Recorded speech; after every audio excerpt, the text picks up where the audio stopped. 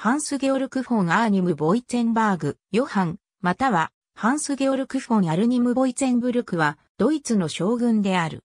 30年戦争の経過の中で、神聖ローマ帝国及び敵対する、ザクセン選定校の陸軍元帥を務めた。また、外交的な仕事も務めた。アルニムは、ブランデンブルクのボイツェンブルガーラントに生まれた。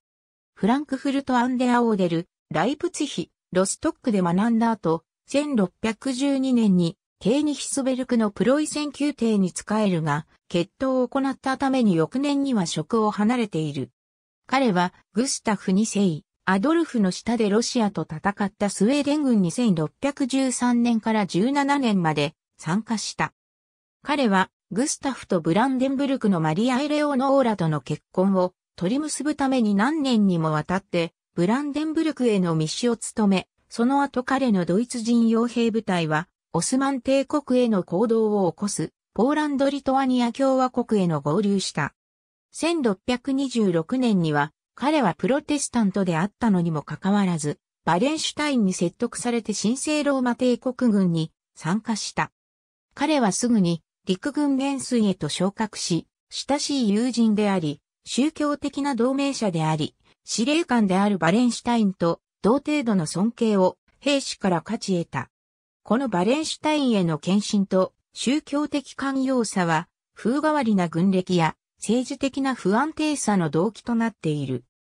自らをルター派に捧げていたアルニムは、フェルディナント2世の命で、ポーランドを、ジグムント3世のルター派のスウェーデンを、グスタフ・アドルフに対する援軍として、1629年6月17日にシュトゥムに送られた。アルニムと彼の軍団は指令の実行に非常に乗り気でなかった。ポーランドが傭兵への支払いを渋った際、彼らは暴動を起こし、スウェーデン側へ蓄点してしまった。アルニムは復旧令とバレンシュタインの罷免を理由として、皇帝軍を辞職した。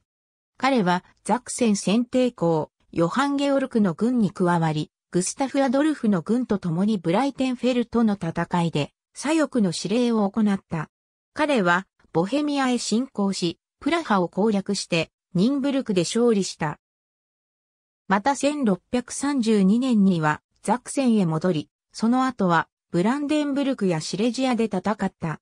彼はヨハン・ゲオルクとバレンシュタインの交渉における主要な代理人の一人であり、バレンシュタインの島でその役割は続いた。その後、彼はリーグニッツで皇帝軍に勝利し、ボヘミアで農民との協調を指揮した。プラハ条約への抗議のため、アルニムは1635年にザクセン軍を去った。彼はバレンシュタインとスウェーデンに対する陰謀を企てたとしてアクセル・オクセンシェルナに拉致され、1637年にストックホルムに連行された。